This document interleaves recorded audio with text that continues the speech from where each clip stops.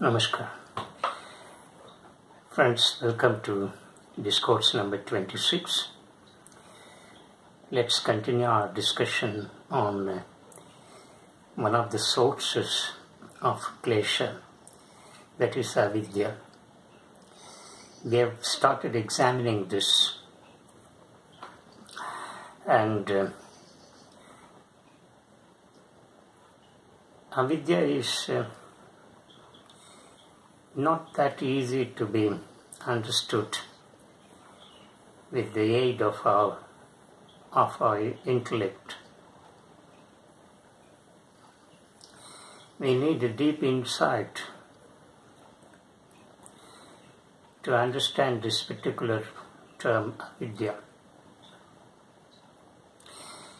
In our last uh, discourse, the speaker has uh, given the distinction between aparavidya and paravidya.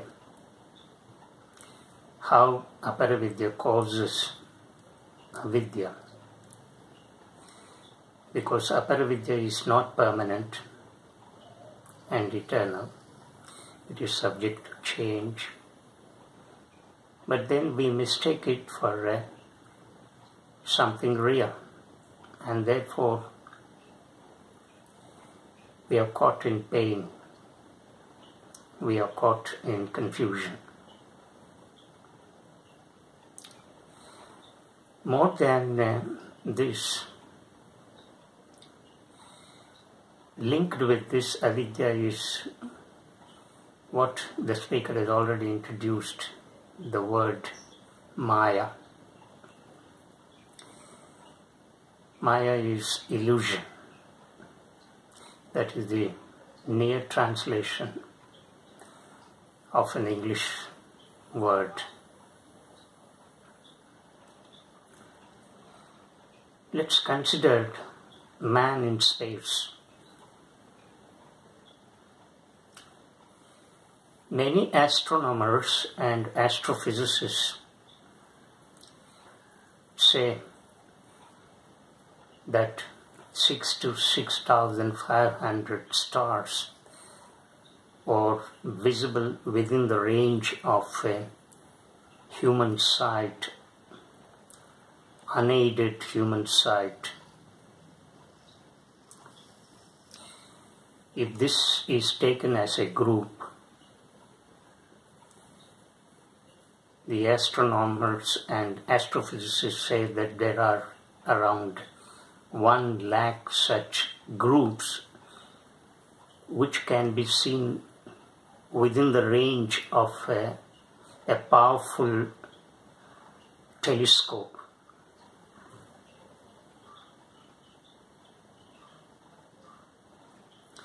That is, this vast creation is um,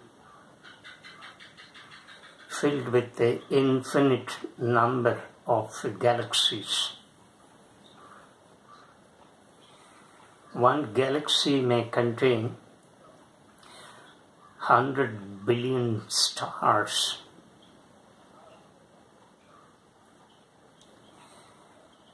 And some of these stars may be smaller than the sun, or some of the stars are bigger than the sun.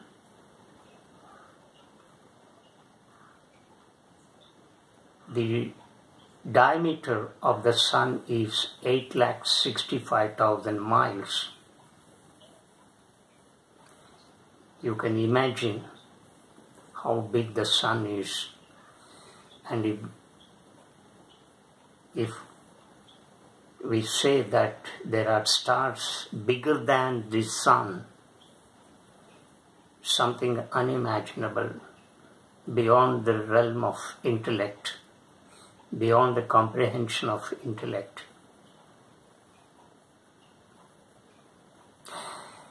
And uh, further narrowing down,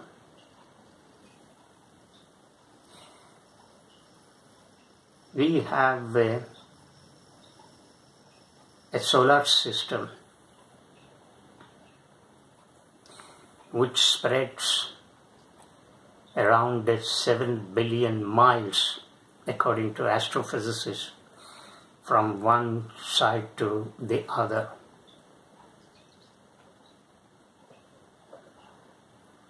And within this, I mean, this solar system comprises planets.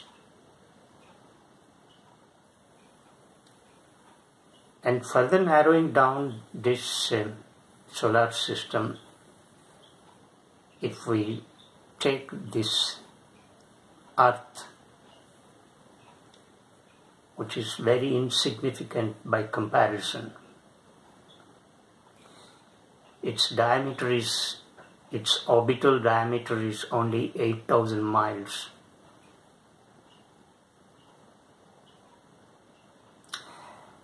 Whereas the diameter of the sun is 8,65,000 miles.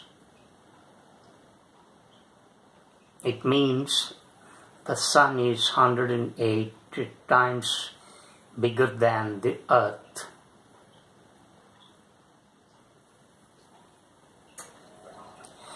And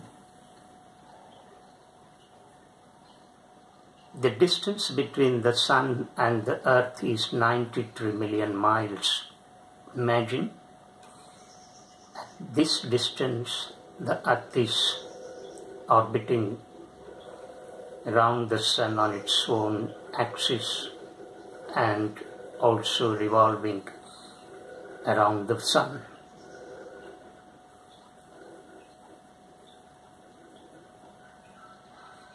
Oh, in one galaxy you find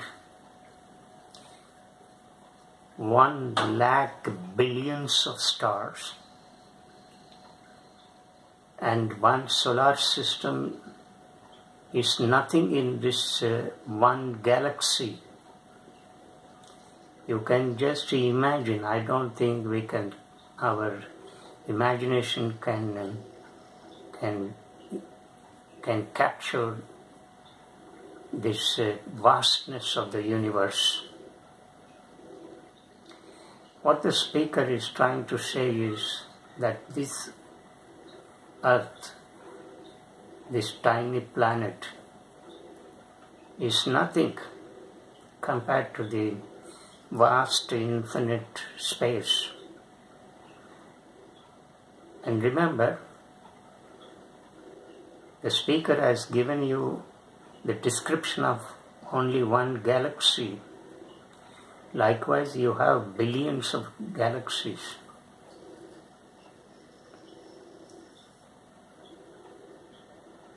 Even if uh, the light could travel with a speed of 1,86,000 miles per second, it would take 1 lakh years to reach from one side to the other in one galaxy. Such is the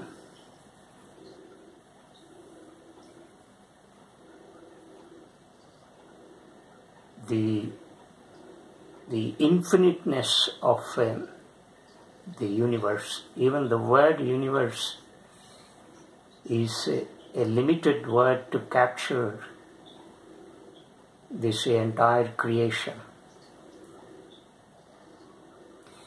And this creation is not static. This universe is not static. It is most dynamic. It is expanded. Oh, imagine the limitedness of our intellect in this vast creation. What the speaker is trying to say is that what is the space what is, what is man in this vast infinite space is most insignificant. Further, if you take this man, what is this man?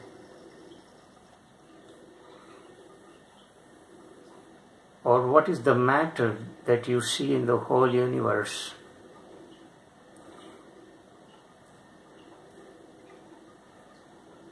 The Newtonian physics, known as classical physics, has simply described the vast universe as nothing but indestructible blocks of matter.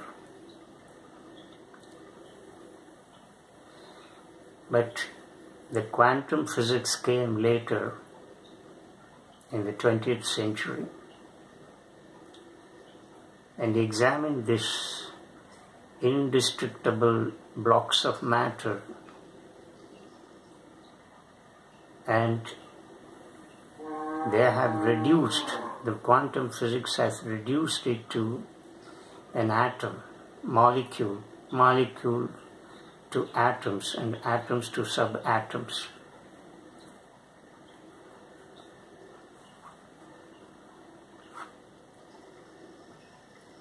that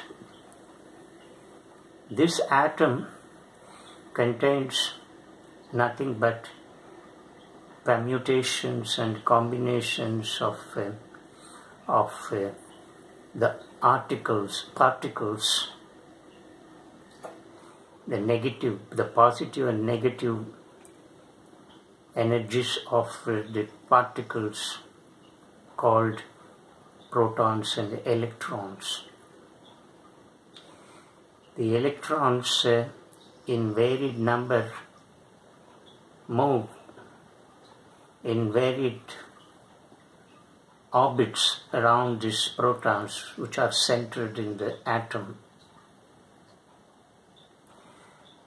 and they contain profound energy when it is split further. So this matter that we see is finally reduced as nothing but energy.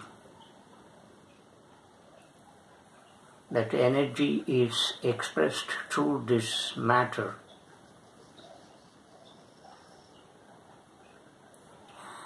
So this is the composition of uh, matter and man is nothing but a miniature of that solar system. As we have just now understood, matter is nothing but composition of molecules, atoms and subatoms. So also at our level, at individual level, man is also composed of the same So he too is nothing but a composition of atoms and when split it is all energy. So matter is finally reduced to energy. This is the way how the physics has uh, examined the constitution of man and the astrophysicists have um, given their own description of the composition of this whole universe. In this vast infinite universe, what is man? And what is this blind intellect that cannot uh, that is incapable of comprehending this vast infinite universe which is ever expanding.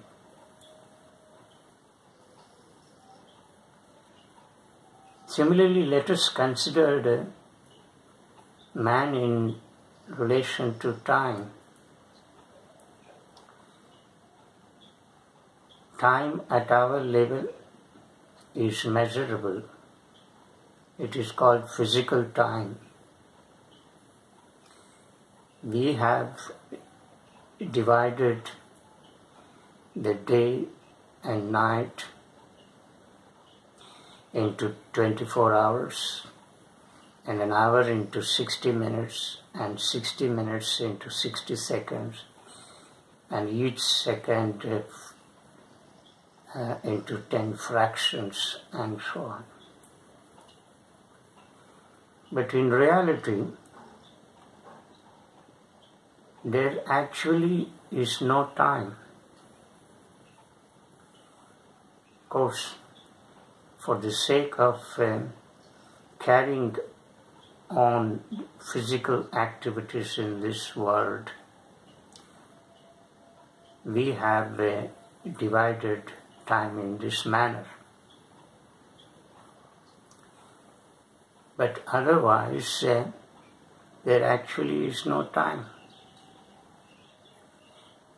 In the sense that we have just now examined the space is so vast and infinite that we cannot uh, imagine the amount of space that the universe is occupied, that billions and billions of uh, stars have occupied the space. It is something unimaginable. Similarly, time at that level, at that the level of creation at cosmic level is immeasurable. So, what is man in this vast, infinite space and time is simply nothing. Is most insignificant by comparison to the entire universe. The speaker is trying to say how limited man is.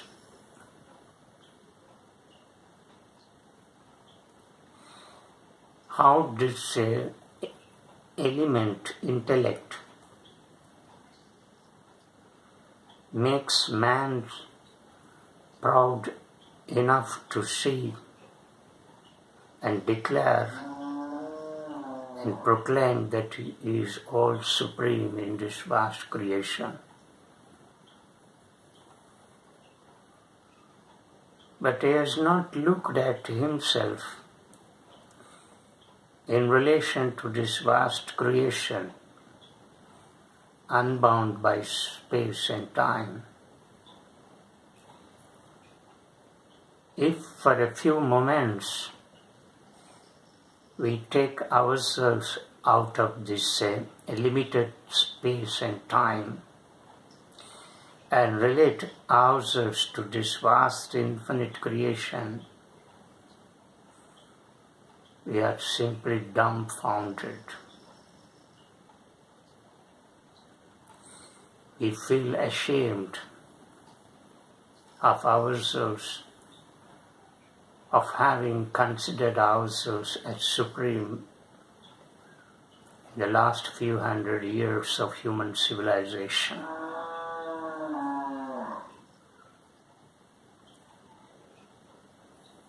This is a fact. And we do not recognize this fact What the speaker is trying to say is man is nothing, is simply most insignificant by comparison to the vast infinite creation.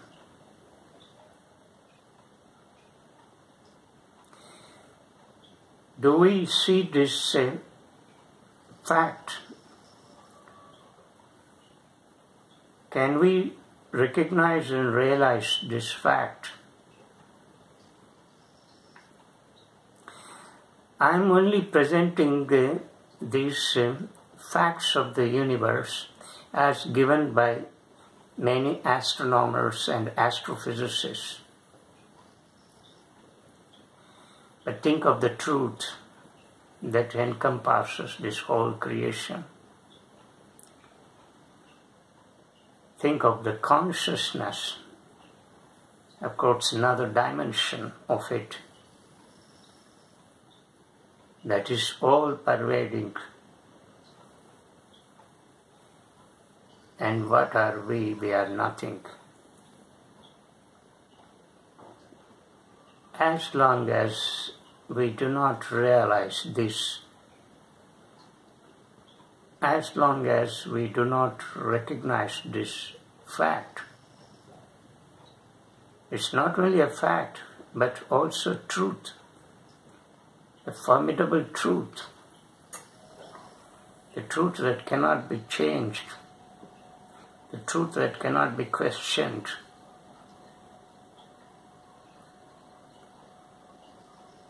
Then we are caught in illusion. Maya is nothing but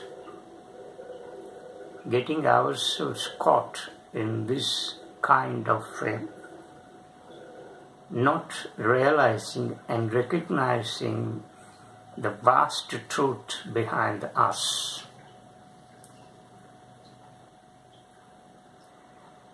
And we think our world, our mind, our life, our institutions, our society, that we have created in which we all live as members or the ultimate and final.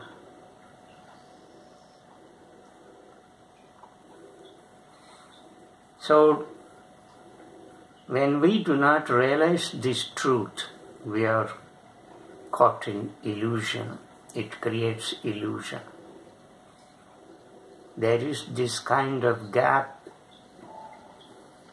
between us, the way or the kind of life we live, we lead in this world, and the vast amount of space and time in the creation. This relating ourselves to the outside cosmos is very important if we do not relate ourselves with the cosmos outside the whole creation, it results in illusion. Because we think we are real. We think what we do is real. We think our intellect is uh, real. We think the amount of knowledge that this intellect has produced and that is staked in all university libraries is final. But the kind of knowledge that we have generated is absolutely nothing in comparison with the vast creation outside and of course in which we are only a part. So this is the way, this is the way how we create illusion, Maya. Now Maya also stands for mistaking an identity of a thing or an object. When we do not see the things as they are, and for a few moments, if we imagine something else and uh, impose it on such things and objects which we see, then it creates false impression. So such false impression is not real. Once our perception is clear, once there is a clarity in our vision, then we see the objects as they are. As long as we do not see the things and objects as they are not, it results in Maya. and therefore it also creates uh, pain.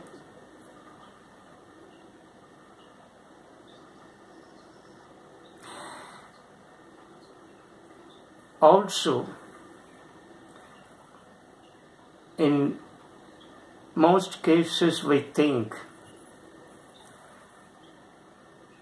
the outside world is real, the matter that we see is real. But we do not uh, see that this matter contains one property that is changing. So this matter is not constant, it keeps on changing. Therefore, whatever the knowledge that we have derived from such matter is also subject to change. This is what we have already learnt. But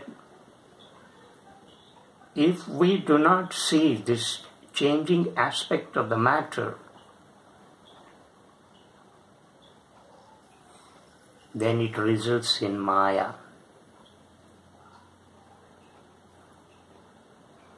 We create so many impressions, opinions,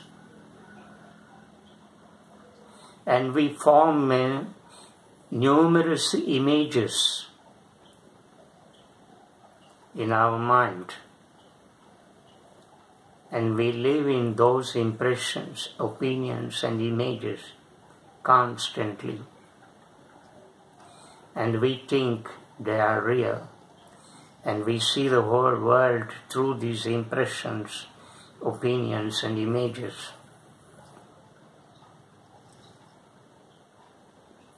But we do not realize that these impressions, opinions, and images block our real perception, real seeing.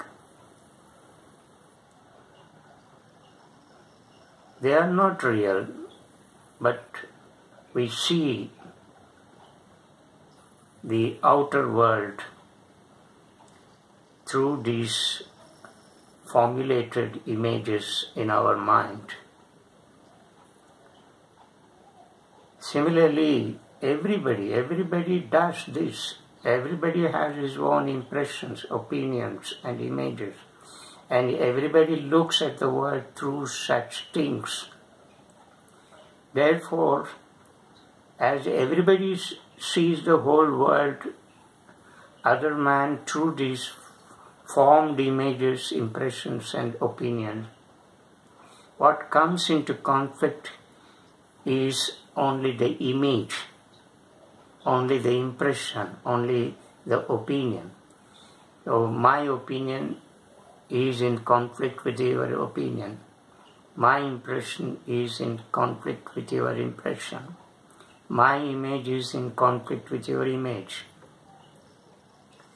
Do you see that there is a, a being the true being behind these images, these impressions, these opinions. As long as we are caught in this whirlpool of uh, impressions, opinions, and images, we are caught in Maya. I hope uh, the listeners have understood the very word Maya, how it results in.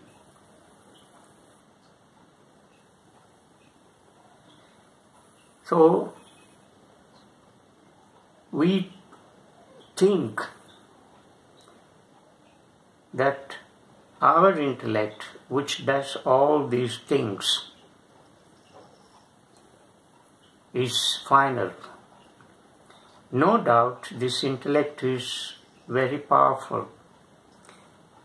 No doubt this intellect is the cause of all uh, human knowledge.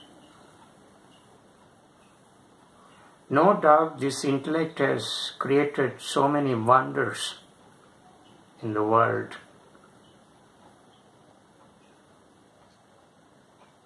All these scientific discoveries and inventions, or the outcome of this intellect. the speaker is not um, belittling this uh, wonderful tool that this nature has given to this organism, to this creature. But then this man has failed to recognize its limitation. That intellect can take us only to a certain extent, to a certain degree of understanding the nature of this world, the nature of the matter, and so on. But beyond that, intellect fails. Our intellect has its limitation, and we fail to see this limitation. We fail to see its futility. That how it becomes incapable of going beyond. As long as we do not realize this, we are in the state of Maya. And where, where there is Maya, it creates pain.